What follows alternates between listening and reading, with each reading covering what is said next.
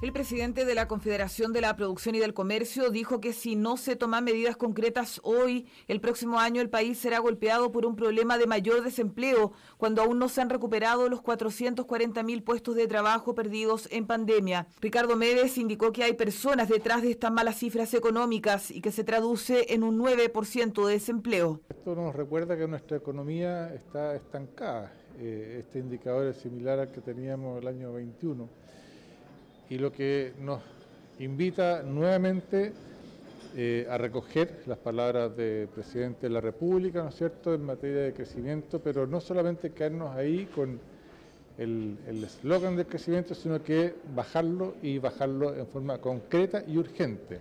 Los líderes de la CPC llegaron a Concepción para reunirse con gremios del sector productivo local que enfrenta diversas dificultades.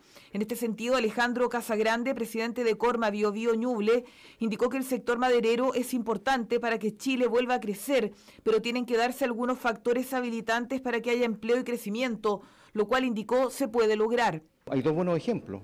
La ley del robo de madera lo que hizo, ¿no es cierto?, es que el 2021 se robaron 100 millones de dólares, la proyección de este año son 13 millones de dólares y ahí las instituciones funcionaron. Poder Judicial, el Poder Ejecutivo, las policías, las fiscalías del Poder Judicial. Y ahora está empezando a actuar la ley de usurpaciones. Los gremios remarcaron la necesidad de dar espacio a la inversión apuntando nuevamente a los obstáculos de la permisología, como lo mencionó el presidente de la CPC. Aquí lo que haga el gobierno es fundamental en términos de la profundidad, en términos de la velocidad para volver a crecer porque el país lo necesita y para eso además necesita generar espacio para inversión. La inversión está caída y nuevamente tenemos que resolver varias eh, lomos de toro que son básicamente la permisología para que realmente el país vuelva a invertir y vuelva a crecer. Los empresarios de la región se reunieron para levantar propuestas que permitan reimpulsar el desarrollo y superar las dificultades que hoy enfrentan el sector industrial, pesquero, maderero y de la construcción.